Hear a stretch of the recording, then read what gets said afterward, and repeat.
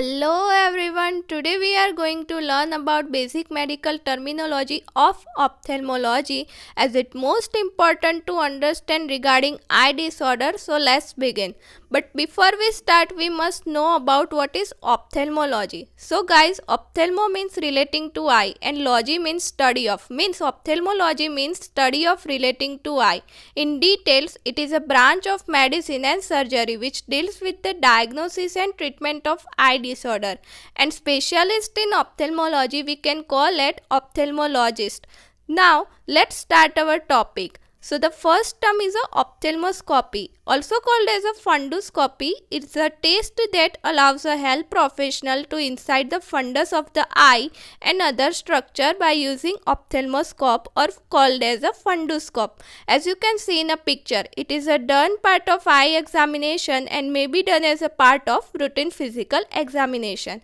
Next we have accommodation as it names is a process by which the eye adjusts for near distance. For example, reading by using changing the curvature of the lens to focus a clear image on the retina. Keep in mind these two important points. First one is when eyes are looking distant objects so ciliary muscles are relaxed. This pull the eye ligaments tightly. Due to this, eye lens become stretched and become thin. So what happens? Focal length increase. Second one is a when eye are looking nearby objects, so ciliary muscle are contract. Due to this, eye ligaments are loose and eye lens become are thick and we are able to see nearby objects. So what happens? Focal length decrease. Next one is adaptation. It is a ability of the eye to become adapted to the amount of illumination either light to dark or dark to light as you can see in a picture. For example, when we are going out in mid-afternoon time or when we are going in theater hall. Next we have rods and cones. These tools are photoreceptor cells. Rods are essential for bright light and dim light and cones are essential for visual acuity and color discrimination. Next one is a myopia also called as a nearsightedness. As you can see in a picture, it is a refractive error in which image is focused in front of retina. So what happen? Close objects appear clearly but far ones do not.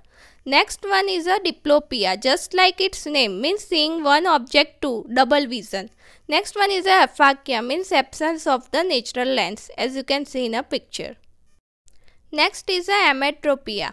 As you can see in a picture, it is called as absence of reflective error or normal eye.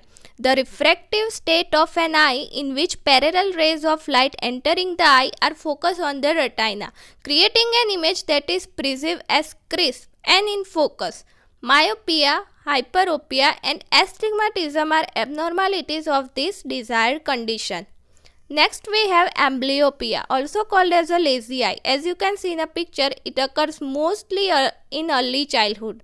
When nerve pathways between the brain and eye are not properly stimulated the brain favors the other eye so this condition will happen. Next one is a hypermetropia also called as a hyperopia. A vision condition in which nearby objects are blurry and a common vision condition in adults. Next one is a blepharitis. It is an inflammation of the eyelid that affects the eyelashes or tear production. Most commonly occurs when the tiny oil glands of the inner eyelid become inflamed. It often occurs along with the other skin conditions or allergies. Next one is a conjunctivitis, inflammation of conjunctiva also called as a pink eye which covers the white part of the eyeball. Next one is a keratitis. As you can see in a picture, it is inflammation of the clear tissue in the front of the eye also called as a cornea. Keratitis is caused by infection, injury, disease or wearing contact lenses too long. Next one is a chemosis also called as a blister-like condition. It is a sign of eye irritation. The outer surface of the eye means conjunctiva may look like a big blister. It can also look like it has a fluid in it. When severe, the tissue swells so much that you cannot close your eyes properly. Chemosis is often related to allergies or an eye infection. Next one is a cataract. As you can see in a picture, it is clouding of the normally clear lens of the eye. Most cataracts develop slowly over the course of years.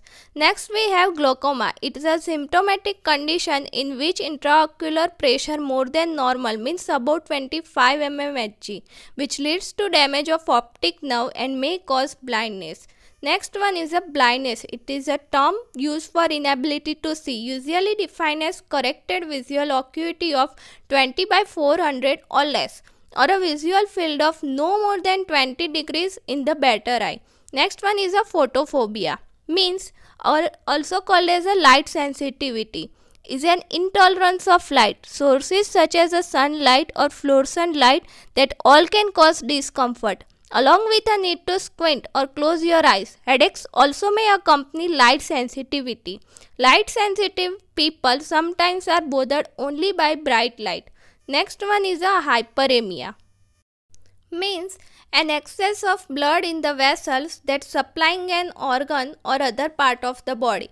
As you can see in a picture, hyperemia associated with allergic conjunctivitis is typically mild with a diffuse pink color and no scleral vessel involvement. Next we have hyphema. As you can see in a picture, is a pooling or collection of blood inside the anterior chamber of the eye. Means the space between the cornea and the iris. The blood may cover most or all of the iris and the pupil, blocking vision partially or completely. A hyphema is usually painful. Next we have trachoma is a disease of the eye caused by infection with the bacterium chlamydia trachomatis. Mild itching and irritation of the eyes and eyelids they may progress to blurred vision and eye pain. Next we have entropion.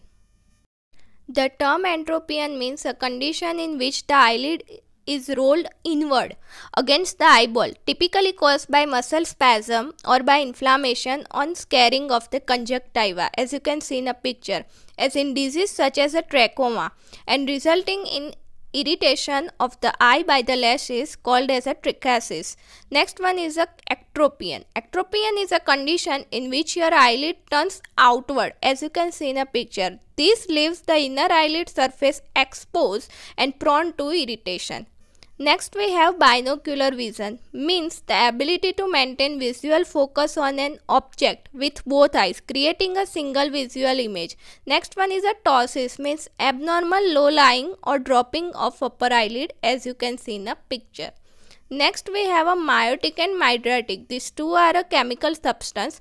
Miotic means little pupil it works by contraction of the ciliary muscle, contraction of the pupil which can be temporary or permanent depending on the cause. Mydriatic also called as a big pupil means dilated pupils which may occur normally or in response to a trauma, illness or drugs. Next we have astigmatism.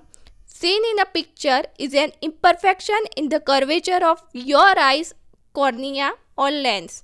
Next we have a neovascularization is the natural formation of the new blood vessels as you can see in a picture. Usually in the form of functional microvascular networks which capable of perfusion by RBC that form to serve as collateral circulation in response to local poor perfusion or ischemia. Next we have bullous keratopathy is a condition in which the cornea becomes permanently swollen. This occurs because the inner layer of the cornea means the endothelium has been damaged and is not pumping fluid properly. Next one is a papilledema. It's a serious medical condition where the optic nerve at the back of the eye becomes swollen. There is a buildup of pressure in or around the brain which causes the optic nerve to swell. Next we have a sympathetic ophthalmia. Also called as a spared eye injury is a diffuse granulomatous inflammation of the uveal layer of both eyes following trauma to one eye. Next we have uveitis, an inflammation of the middle layer of the eye uvea. The most common type also called as an inflammation of the iris called iritis. Next we have aqueous humor is a transparent watery fluid similar to plasma but containing low protein concentration. It is secreted from the ciliary body, a structure supporting the lens. Next we have a press presbyopia as you can see in a picture. In this the gradual loss of your eye's ability to focus on nearby object. Next we have a enucleation is a removal of the eye that leaves the eye muscles and remaining orbital contacts intact. This type of ocular surgery is indicated for a number of ocular tumors in eyes that have suffered severe trauma and in eyes that are otherwise blind and painful. Next one is a exenteration, complete surgical removal of the eyeball as you can see in the picture and other contact of the eye socket usually in cases of malignant cancer. Next we have a limbus. The corneal limbus is the border of the cornea and the sclera means the white of the eye. Next we have a phacoemulsification is a modern cataract surgery method in which the eye's internal lens is emulsified with an ultrasonic handpiece and aspirated from the eye. Aspirated fluids are replaced with irrigation of balanced salt solution to maintain the anterior chamber uh, in socket, usually in cases of malignant cancer. Next, we have diabetic retinopathy. Diabetic retinopathy is a condition that manifests in people who have diabetes, caused when high blood sugar levels damage the blood vessel in the retina. This causes blood vessel to leak resulting in hemorrhage or to stop blood flow to the retina as you can see in the picture. When blood flow to the retina decrease new tiny blood vessel can form that is dangerous to the whole eye. This can cause cloudy or blurry vision that may lead to vision loss. If this condition is left untreated, it may cause complete blindness. Early stages of diabetic retinopathy may present with no symptoms, thus being very important to go for regular eye examination.